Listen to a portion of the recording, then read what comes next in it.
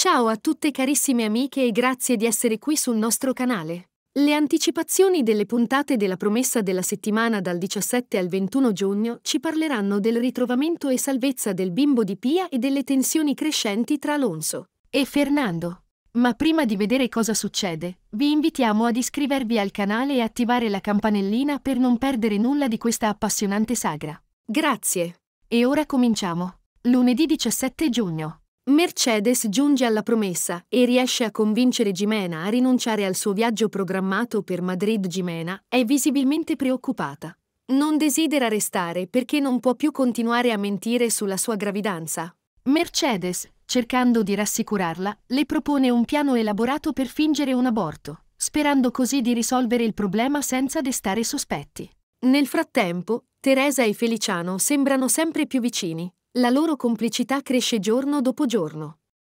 Parallelamente, Jimena si confida con Manuel, confessandogli che i suoi sbalzi d'umore sono causati dalla gravidanza. Lei gli chiede di restarle accanto durante questo periodo difficile e Manuel, con dolcezza, promette che lo farà, cercando di offrirle tutto il supporto possibile. In un'altra parte della tenuta, Fernando e Alonso si scontrano in un acceso dibattito riguardo alla questione dell'eredità familiare. Catalina, ascoltando di nascosto la loro discussione, si rende conto che la frattura tra i due è ormai insanabile e che ogni tentativo di mediazione sarebbe vano. La tensione tra i fratelli è palpabile, e Catalina capisce che deve rassegnarsi all'inevitabile distanza tra di loro. Intanto, Giana si introduce furtivamente nel convento di Villalquino. Con movimenti rapidi e silenziosi, riesce a trovare il bambino, mentre Manuel, con astuzia, distrae la madre superiora.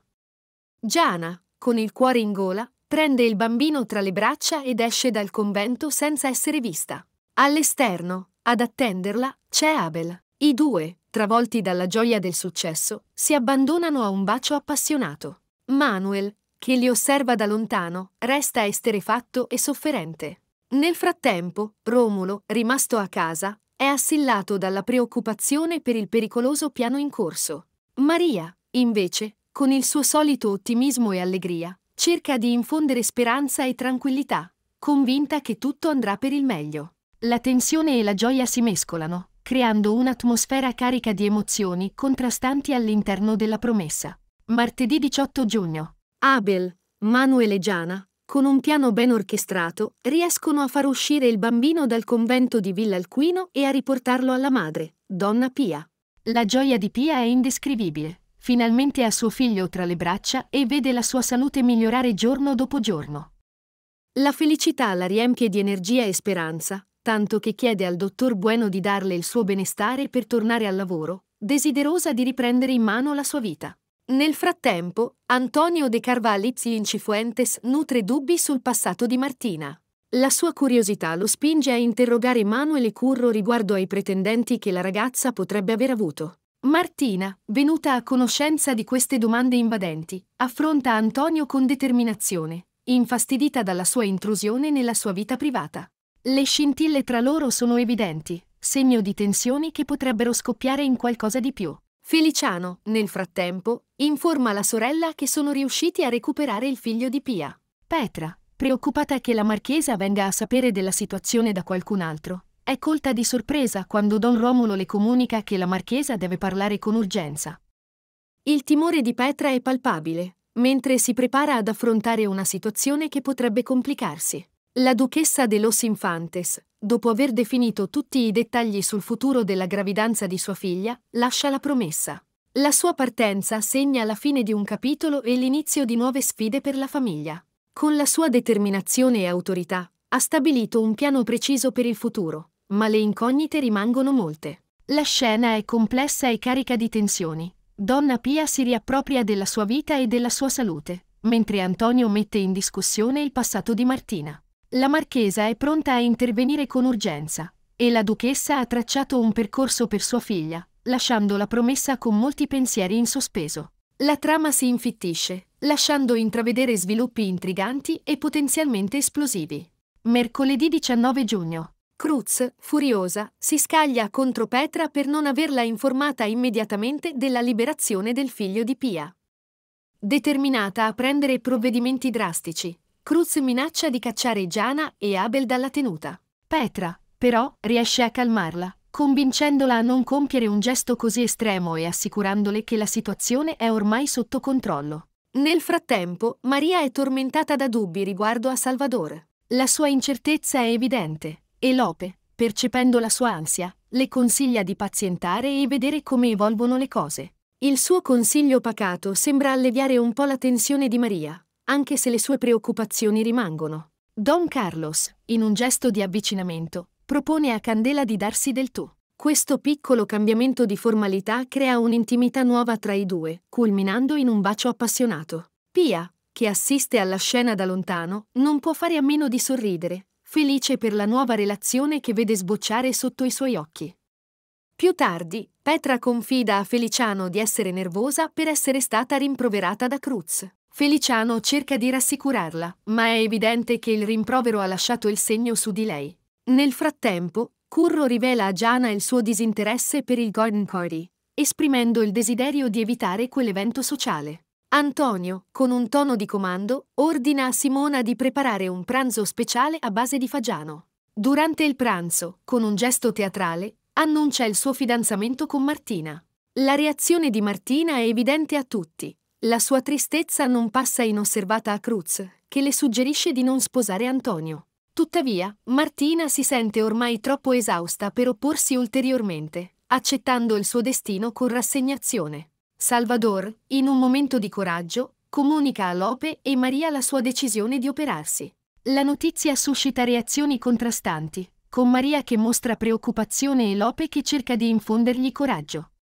Manuel, infine, decide di andare a trovare il figlio di Pia. Durante la visita, rimane solo con Giana, creando un momento di intimità tra i due. La tensione e le emozioni non dette tra Manuel e Giana si fanno palpabili, lasciando intravedere la possibilità di sviluppi futuri nel loro rapporto. La scena complessiva è intrisa di emozioni contrastanti, dalle tensioni e i rimproveri alle dichiarazioni d'amore e decisioni coraggiose. La tenuta è un microcosmo di sentimenti intensi, dove ogni personaggio combatte le proprie battaglie interiori e cerca di trovare il proprio posto in un mondo in continua evoluzione. Giovedì 20 giugno. Manuel, con il cuore in subbuglio, confessa a Giana la sua gelosia nei confronti di Abel. Le sue parole sono cariche di emozione, rivelando la profondità dei suoi sentimenti. Giana, sorpresa e lusingata, ascolta attentamente, cercando di capire come gestire la situazione senza ferire nessuno. Nel frattempo, Romulo e Pia sono impegnati nei preparativi per il viaggio a Madrid, stanno organizzando l'itinerario e coordinando il personale che accompagnerà i signori, assicurandosi che ogni dettaglio sia perfetto per il loro soggiorno nella capitale. La loro dedizione e meticolosità sono evidenti, dimostrando quanto tengano al benessere e alla sicurezza della famiglia. Don Carlos, in un momento di confidenza, espone a Simona i suoi timori riguardo a una possibile relazione con Candela. Simona ascolta con attenzione, cercando di rassicurarlo e di offrire consigli saggi su come affrontare i suoi sentimenti e le incertezze che ne derivano. Curro, determinato a scoprire la verità, decide di visitare Ramona nonostante gli avvertimenti di Giana. La sua insistenza è palpabile, spinta dalla necessità di chiarire questioni irrisolte e di mettere fine ai dubbi che lo tormentano. La visita a Ramona potrebbe rivelare informazioni cruciali o portare a conseguenze inaspettate. Nel frattempo, Abel e Giana si avvicinano, confessandosi i propri sentimenti in maniera più o meno esplicita. Giana, tuttavia, chiarisce di non voler etichettare ciò che prova, preferendo lasciare le emozioni libere di evolversi naturalmente. Questo approccio lascia Abel incerto, ma rispettoso della sua volontà. Teresa e Feliciano, dopo il malinteso legato al loro bacio, si confrontano apertamente. Teresa spiega come abbia percepito il bacio come poco coinvolgente, mentre Feliciano chiarisce i suoi veri sentimenti, cercando di ristabilire la fiducia tra di loro e di superare l'equivoco. Il duca Antonio invia alla promessa il figurino del vestito che Martina indosserà alla festa. Margherita, vedendo l'opportunità, usa questo gesto come pretesto per rivaleggiare con Cruz, cercando di affermare la propria posizione e di guadagnare influenza. Salvador, accompagnato da Maria, incontra Abel. Con umiltà e sincerità, Salvador si scusa per il suo comportamento scortese e informa Abel della sua decisione di operarsi. La conversazione è intensa e segna un passo importante verso la riconciliazione e il perdono. Infine, Curro tenta di dissuadere Martina dal voler sposare il duca Antonio. Le sue parole sono cariche di preoccupazione e affetto, cercando di farle vedere le possibili conseguenze di una scelta che potrebbe non renderla felice. Martina ascolta, combattuta tra la pressione delle circostanze e il desiderio di trovare la propria strada. La trama si infittisce, intrecciando storie di amore, gelosia, ambizione e riconciliazione. Ogni personaggio è alle prese con le proprie battaglie interiori, cercando di navigare in un mondo complesso e in continua evoluzione. Venerdì 21 giugno. Pia si trova in un costante stato di tensione, cercando di bilanciare le sue responsabilità lavorative con le esigenze del figlio.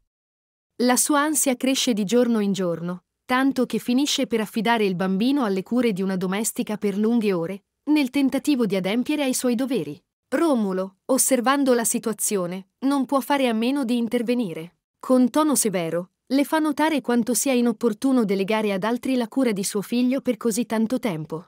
Ma la vera ragione dietro le azioni di Pia è il terrore costante che qualcuno possa rapire nuovamente il suo bambino. Questo timore la paralizza, e in un atto di disperazione, chiede a Teresa di parlare con la sua amica nella speranza di ottenere maggiori informazioni su chi possa essere il rapitore. Ignora completamente il segreto che Teresa nasconde, convinta che una risposta possa alleviare le sue paure. Nel frattempo, Gimena riceve un pacchetto misterioso inviato da sua madre. Al suo interno trova una piccola bottiglia contenente sangue, parte di un piano per simulare un aborto.